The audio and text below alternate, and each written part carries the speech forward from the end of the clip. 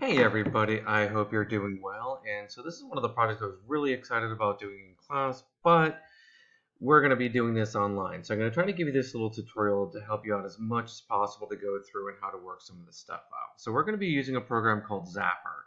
And you should be getting, or have already gotten, or will be getting it pretty shortly, an invite to join. If the invite doesn't work, what you can always do is just create a free trial for 30 days, and that's fine too. The first thing you're going to need to do is download what's called Zappar Reader.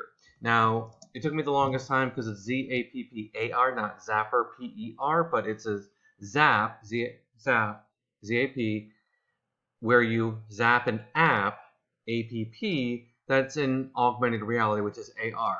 So it's an app that you zap in AR. And that's kind of how they come up with the name. So once you get that, you're going to be able to see it. So you can do a Zappar Reader app, and you can either do it on a computer, so you can go to Get Zappar Augmented Reality, or you can go to your Google Store. So if you look on your phone, what you're going to see is it's going to look like the following right there. You got that little red box with the black circle and the yellow lightning bolt. That is your Zappar reader. So, so let's go back to Google and we're going to get started.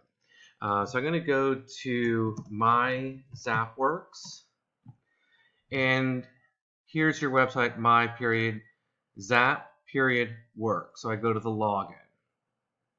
Now this is where, you know, I'm already logged in. So if I, let me just log out and I go back out so you can see this is what your login screen is going to look like. So I have my login information saved because I don't remember any of my passwords. So what I'm going to do is I'm going to go to new project. So in this particular situation, if you've already gone through mission two, or if you haven't, this will kind of help you out with it what I'm going to do is we're not going to use Studio, but I'm going to go to Designer. I'm going to hit Next Step. Don't worry about branded or image lookup or anything like that because you notice that's 20000 8000 This one's free. If you can do $20,000 on this, we need to talk about other things. So I'm going to go to Create Project. And now I want to start editing with Designer. So the first thing I need to do is I need to download my zap code to get started. So I can choose some of these different screens if I want to. Uh, you know what? I think I'm just going to stick with this one. So I'm going to download it as a PNG file. So I'm going to open it. And so here's my lovely zap code. So what I need to do is I'm going to, oh, no, I don't want to copy it, I want to save as. So I'm going to create a desktop folder here where it's called images. So this is going to be my, what I call tutorial image. Okay, so I have my copy saved. Now, Eh, I need to move this up just a little bit. You're going to see the button here that says continue. So I click continue.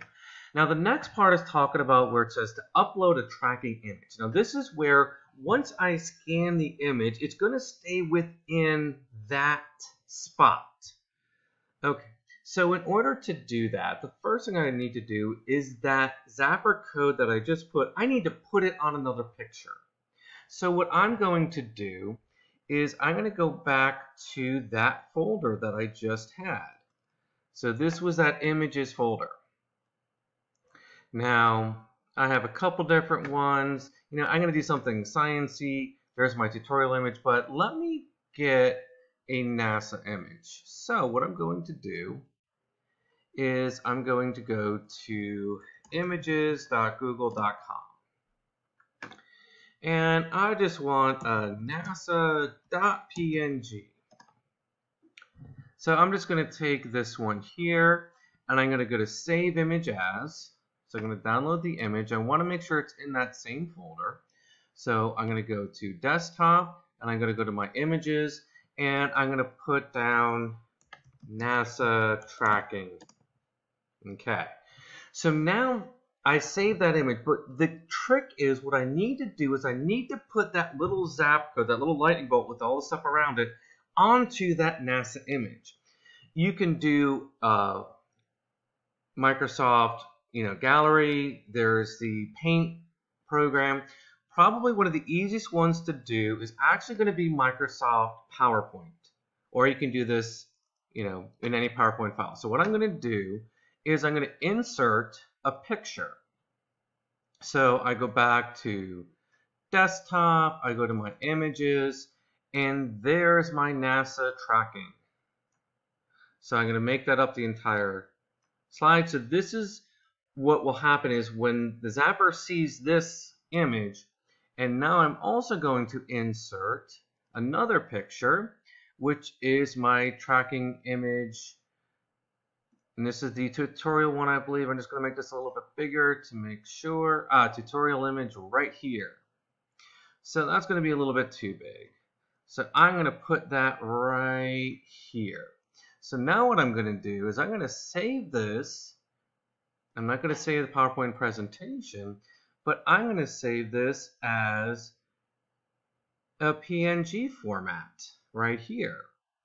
So I can go to go to my images and I'm going to say tutorial tracker. So I'm going to hit save. Which slide do I want to export? Just this one.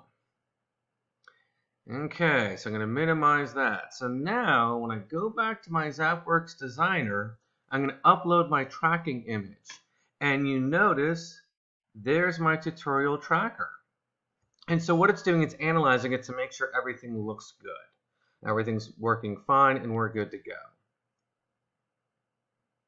Okay, I'm going to use this tracking image. So we're good to go.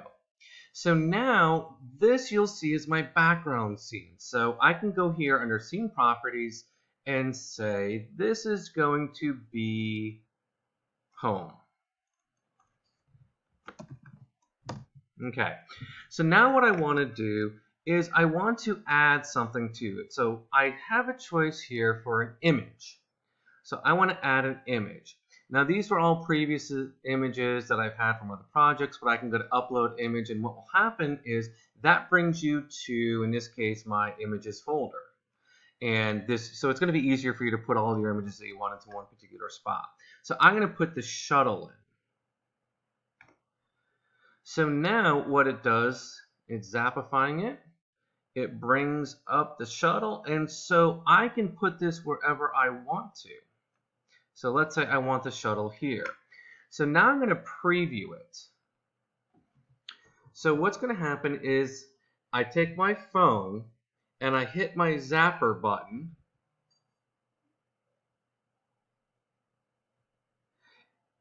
and you won't be able to see it all that well but you can see on my phone lo and behold there's a little space shuttle and that's it now, if you try to do this on yours, this isn't going to work. You're going to see a lot more than the shuttle because what happens is one of the nice things about Zappar is any changes I make on the back end, it's going to reflect it for that exact code. So you're going to get the final product if you were to zap this on your own up to the screen. It'll work, but you can do that. So, all right, so I'm done. So that's good. Well, it's kind of boring just to have one particular image or something like that. I might want to do something with it. So what I'm going to do is I'm going to add another image and I'm just going to, for safety, or for time-wise, I'm going to upload the moon here. Now, and I'm going to upload, let's just do one more image we're going to upload. And I'm going to upload this one. Okay. So now, if I were to scan it, I'll bring up these three images. But I can do this, I can do more with this. So I have this little plus button here, which that's now scene two. So what I'm going to do is I'm going to click on scene 2. I'm going to make this the shuttle. So I go click on home here. So I go back to the shuttle. Now if you notice you have a series of action items here. So I can say, oh, action. On tap, I have the ability to enlarge it. I want to go to a scene. Enlarge means it's going to make it the entire scene. I can go to a particular scene. So that's what I wanted to do. I want it to go to a scene. And now I click on here, scene selected shuttle. And so, what's going to happen here now when I go to the shuttle, now it's going to bring me here. Well, right now there's nothing there, so it's kind of boring. So what I'm going to do is I'm going to upload a video or I'm going to upload my own video. You notice I have some recently viewed videos here, so I can upload a video from my images again. So this is one, for example, with is a just a video from Cape Canaveral. So once it actually goes through the images, and so this was one I previously used, so I could have it up in that bar would be a little bit faster next time, but it's uploading all the different images or uh, uploading the video, so it takes a little bit of time. Once it's done, so you see here, now I get to play with certain aspects like, oh, I want it to be a little bit larger in the screen here. What I wanted to do is the following. Um, so video, I wanted to play on star. I'm going to pause other media. Do I want them to be able to control it, yes or no? Do I want them to be able to save it to the device? So you have some freedom and flexibilities. So now when I go to preview it, so again, here's my screen, which before is still just a little shuttle up there. I have this little button right here, which allows me to re-zap it. So when I click the one, it kind of, to me, it looks like an eye with the lightning in the middle. So I scan it now, and what you'll see this time is now I have those three things up there.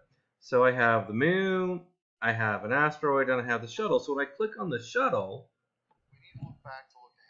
you see the video pops up. And if you notice, I have the ability to tap on it. I can make it bigger. And I have the controls associated with it. And that's all basically from here. So I'm good here. I'm going to just pause that. So I close it out. Now you can also do other things. So let me go back to the home. I'm going to show you one more thing you can do as a way I can make an assessment, I'm being like, okay, I'm going to make a asteroid scene. Okay, now for this asteroid scene, you know, I'm going to make the background a little bit different. Maybe I want, you know, I'm going to upload an image. I'm going to have a star field. So instead of that background, I want to have stars coming up in the back. Okay, so I'm going to make this bigger because I like it bigger. And so now I have the stars here. And I can include, let's put that image of the asteroid back in the center. So I can put it there. And I can also now embed text. I can include sounds. I can say, insert my text here and I can say, what is this? Now, I really can't see it all that well. So what I'm going to do is I'm going to move this up here and I'm going to change the color to be maybe something else.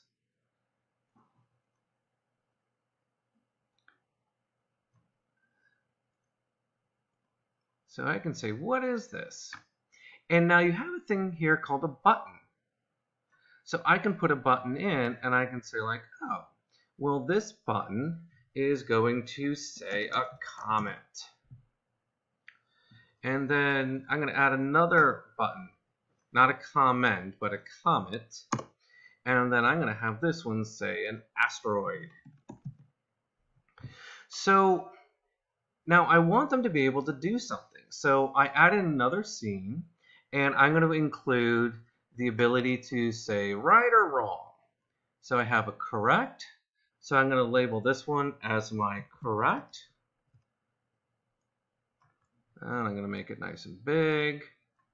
And I'm going to add this one, and I'm going to have this one marked as incorrect.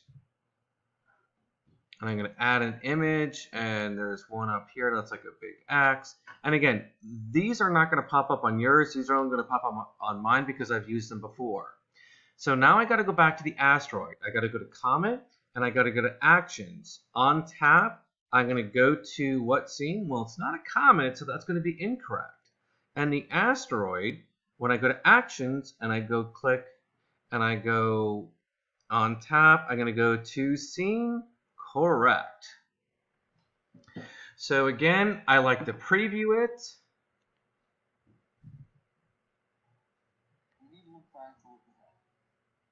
I need to exit out of here. out of that previous app because it's still playing my video.